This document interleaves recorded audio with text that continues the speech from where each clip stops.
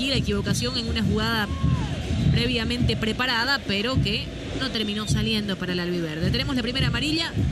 Te escuchamos, por favor, Santi.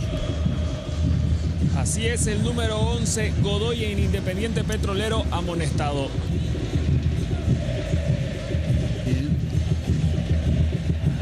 Ahí vemos eh, el toquecito sobre Daniel Rojas. Y la infracción que ha provocado la primera amonestación en este partido. Sentido todavía el capitán que tira Oriente, autor del gol. El único que se ha marcado en este partido. Ahora, Rojas inéditamente le marca su primer gol a, Independiente en este tipo de duelos. Pero si hablamos de goleadores en este tipo de enfrentamientos, cada vez que Oriente se enfrentó a Independiente, el hombre con la camiseta verdolaga que más le, le marcó al cuadro chuquisaqueño fue Milton Coimbra, con 11 goles.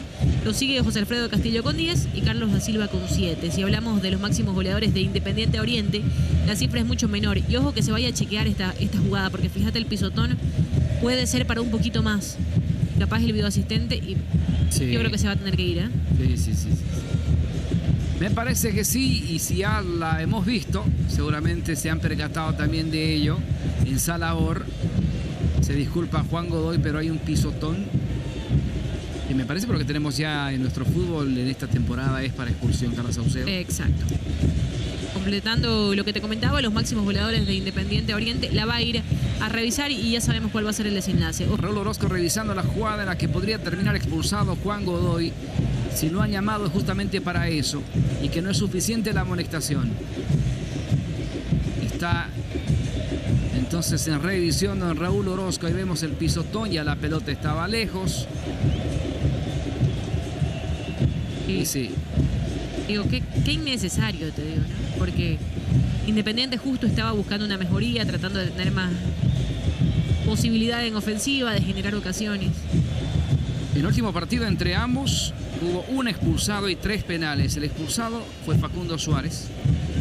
Entre los tres penales fueron convertidos por Caire, Dorrego y Cristaldo. Para Independiente Cristaldo en ese entonces. Vamos a ver si aquí se produce el primer expulsado ante esa entrada de Juan Godoy. Sí, no. No hay Qué por pena. dónde buscarle la vuelta para que No, lo para nada. Ah, Se va a tener que ir Godoy. Y mirá con lo que le está costando Independiente. Sí, se la va a cambiar la amarilla por roja.